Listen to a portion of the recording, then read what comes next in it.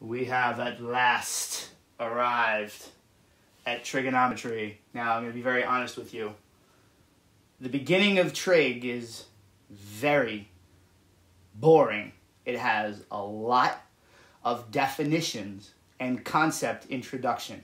However, until I do that, you won't be able to do anything more advanced. This is going to get hard very quickly, but it doesn't start off that way. It starts off with a lot of introduction and a lot of preliminary knowledge. I have to give you a lot of definitions, so please just bear with it all. All right, so this is going to be the introduction. We start off with what's called right triangle trig. You have a right triangle, a 90 degree angle. I know you all know what this is. Now, they use this weird ass little symbol, theta, to represent an angle. So, I mean, I could call it angle A. You don't even have to label the triangle. Normally, if you remember back from whenever in your life you saw triangles, I would have, they usually write capital letters for the angles, and they write lowercase letters for the sides. So, little a, side A, would be across from angle A. We're not going to do this here. I'm going to give them different names. Now, you guys should remember the special name of the diagonal. The side that is across from the 90 degree angle is called the hypotenuse. I, I love that word. Hypotenuse. Hypo, right? And then tenuse. The hypotenuse. That is the diagonal. Now, this is the tricky part. In relation to this angle, I have two other sides. Now, one of these sides is touching that angle, and one of them is not. In fact, this side over here is quite far. It's not touching at all. This side, we call this side the opposite side because it is across from the angle. This one we call the adjacent side. The word adjacent means next to. So I wrote the definitions of the words. The hypotenuse is the diagonal, okay? It's across a 90 degree angle. There's no mistaking it for another side because it's the only one that's a diagonal. The opposite side is the one that is across from the angle theta, and the adjacent side is the one that is touching or next to the angle theta. Now, why am I going through all of this? There are six trig functions that you use, and they are based on a right triangle. They are based on ratios of sides of the triangle. Now you should say to yourself, what the hell is a ratio? A ratio is nothing more than a fraction. It is a comparison of two sides. So I'm going to take two of these sides in various combinations, and I'm going to use them to create trig functions. This is how they're defined. And there's no way you haven't heard of them before. You may know the main three, you may not have heard of the other three, but there are six ways that you can compare these sides. I can compare this side to that side, that side to this side, this to this. There are a total of six ways you can compare them as a ratio. All right, so that's what I'm going to do next. I'm going to introduce you to the trig functions you're going to use for the rest of trigonometry. All right, it's time for the introductions. Now, I want to point out, very important, I drew the triangle different. It does not matter how this triangle is drawn upside down, flipped, rotated. The hypotenuse is always the diagonal. The opposite side is always the one that is furthest away from your angle theta. And the adjacent side is always the other one that's touching it. Now, the big three. There are six trig ratios altogether. The big three you definitely have heard of, but I'm going to go over them anyway. I'm going to introduce them to you, and we're going to be using them for the rest of the time. So the first one is called sine. The sine, S I N E, of theta. Now you write sin, S I N, sin theta. Now, which two sides does this go with? He goes with the opposite side and the hypotenuse. Now, I'm not done. I mean, I'm going to show you a little something that I do after this. The next trig dude is called the cosine. Just stick a CO in front of sine. The cosine of theta. You write COS, cos, or cos, whatever you want to say. This dude is the adjacent side over the hypotenuse side. And the last one is called the tangent of theta, as in go off on a tangent. And you're right, big shock, T A N, tan. Tangent is the opposite side over the adjacent side. Now, I'm going to tell you something that I shouldn't tell you, but I will. when I learned these in high school, someone told me this really stupid acronym that didn't help me called SOHCAHTOA because the idiot who told me was saying it wrong. He just kept saying, "Oh, trick is easy. It's Chief SOHCAHTOA, Chief SOHCAHTOA," and I couldn't spell it right to save my life. Then someone else told me, "Hey, make up your own acronym, like smelly old hobo, or children are hyper, or children are happy, tangerines, or apples." Now I know for a fact you'll all say, no, no, no, SOHCAHTOA, SOHCAHTOA, good for you. If SOHCAHTOA helps you remember this stupid nonsense, awesome. However, I think it's cute to come up with your own. I used to say stupid old hag, smelly old hobo, whatever. Cats are hairy, children are hyper, children are happy, tangerines are apples, tech or art, technology or art, whatever you like. Now, I have horrifically profane versions of these that I share with no human being alive, and I'm not going to share them with you.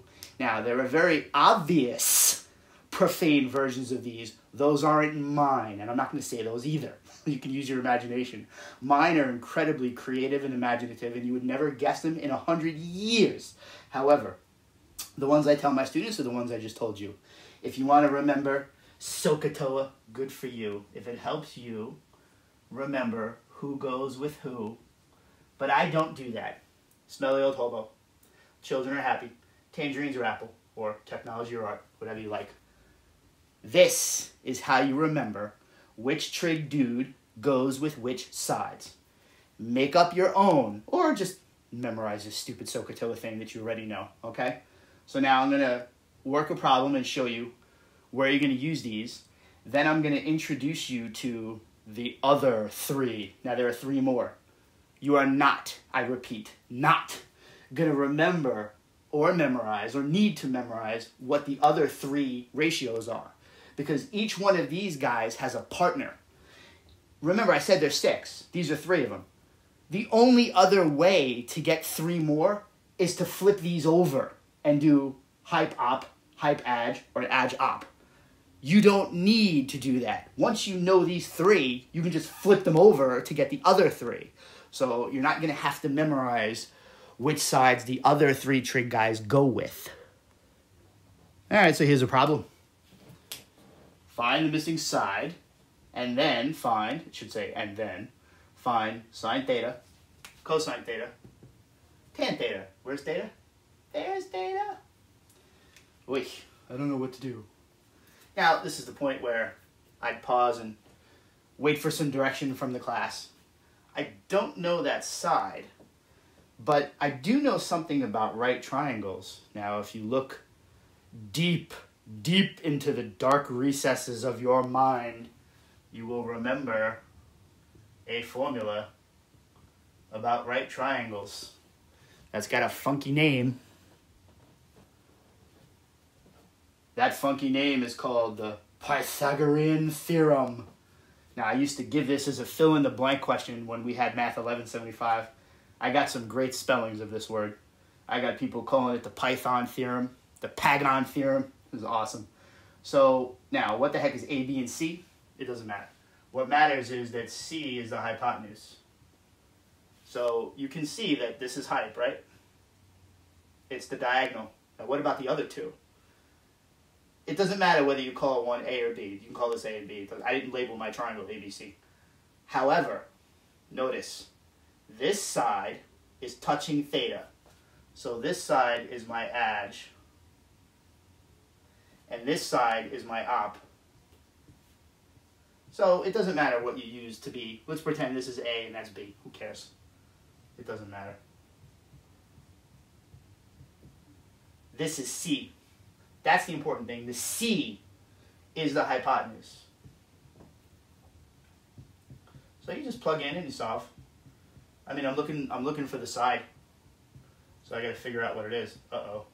It's not gonna be nice. Seven. you can't do the square root of seven. Yes, you can. It's radical seven. What the hell is that supposed to be? Let's see. Radical four is like two. Radical nine is three. So this is like maybe 2.7, 2.8. Who gives a damn? You're leaving it like that. So my missing side is radical 7. Now all I have to do is read them off. Really easy.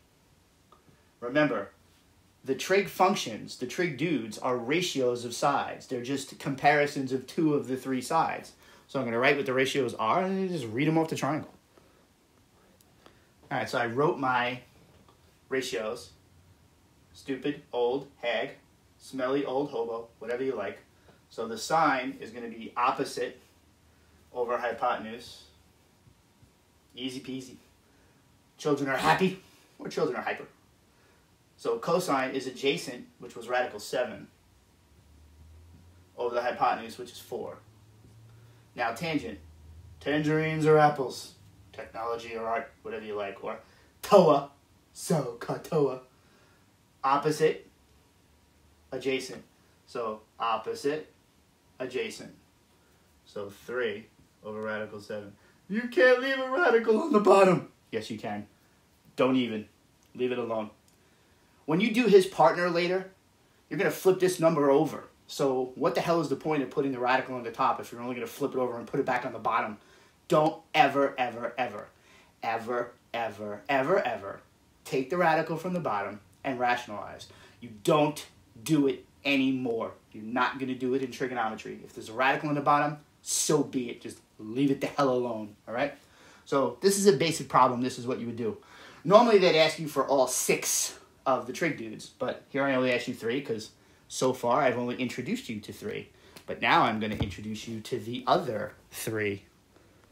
Okay, so I'm going to introduce the partners. They are reciprocals. What the hell is a reciprocal? Flip. One over, right? That's what a reciprocal means. You take one over this guy.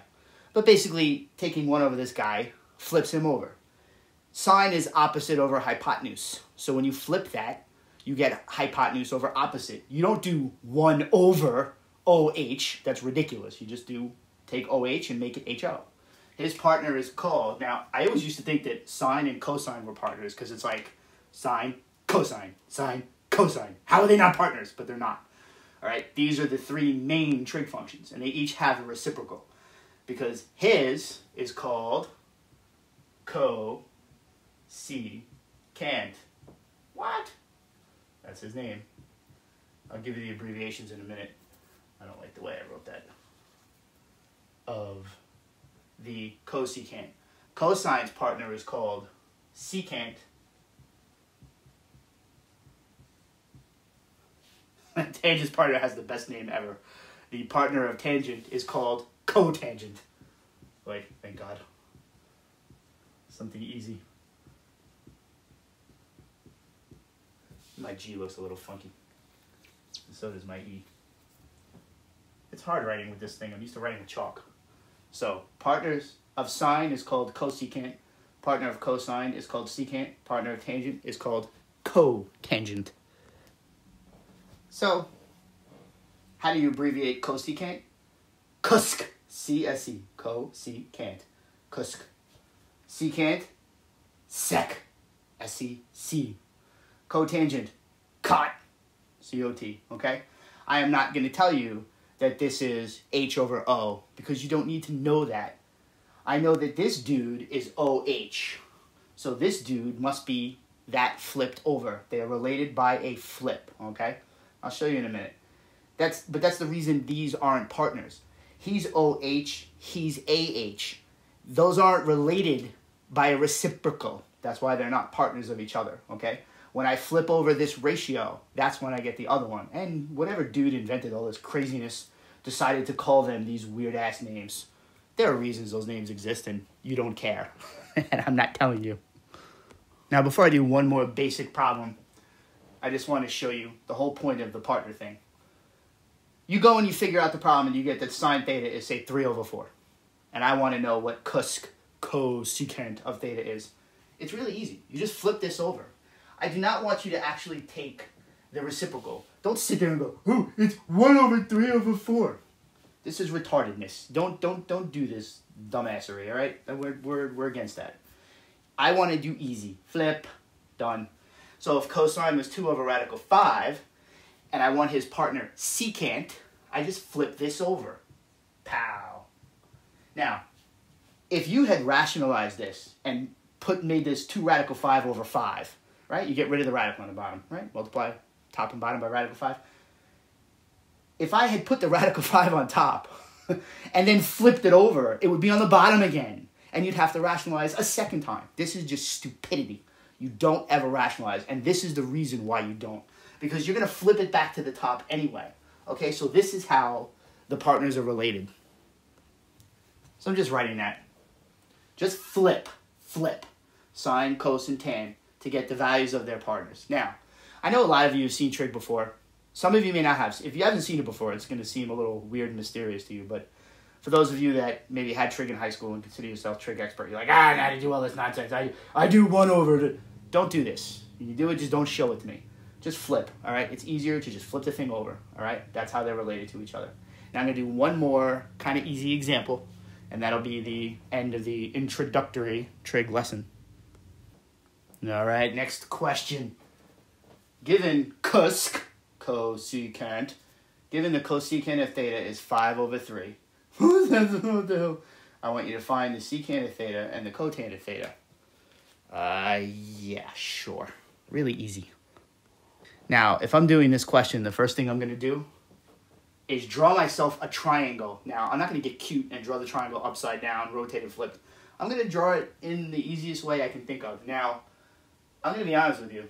Well, I do know, but I'm to pretend I don't know what sides go with this dude. I just, I don't know. But I do know his partner is sine. And I do know that his partner, silly old hobo, or smelly old hobo, or whatever, or so in the SOHCAHTOA, whatever you like. I know that sine goes with opposite hypotenuse. And I know that these guys are partners, so I'm going to just flip this over and figure out what the value of sine is. Now, I know in my triangle that I drew, this is op, this is adj, and this is hype. This is the opposite side because it is across from the angle, theta. That's where I chose to put it. Adjacent side is touching it, and then the hypotenuse is the diagonal. So now I can fill in two of the sides. I know that the op is 3, and I know that the hype is 5. Now I just have to figure out what the missing side is. So I'm going to use the Python formula again. All right, so rather than bore you to tears anymore, here's the Pythagorean theorem, or Pagon, Python. Plug in. These are the legs. What the hell are legs? The non-diagonal side. This is the diagonal side. This is the hypotenuse bang it out. A is, let's see, square root of 16. It's 8! It's 8! This side missing is 8. No, it's not. It's 4. Now, I want to know what secant and cotangent are. Don't do them. What? We have to do them. You said to do them. No, I'm not going to do them. I'm going to do their partners. And then you know what I'm going to do? I'm going to flip them over. I don't want to memorize who goes with sec and cot. Can I figure it out really easily? Yes, I can. I know that he is AH. Children are hyper. So I know I just have to do H over A. I know this, but I'm not going to do that. I'm going to do them all. Usually when they give you these problems, they actually ask you for all six of the trig ratios. They're like, okay, here's the triangle, find the missing side, and tell me all six values. And then you got to do all six anyway. So I just want you to stay in the habit. Tangerine or apples. I almost wrote A there. So cosine is AH. So his partner is going to be that flipped. 4 over 5, 5 over 4. Flip. Tangent is O, 3. over adj, which is 4,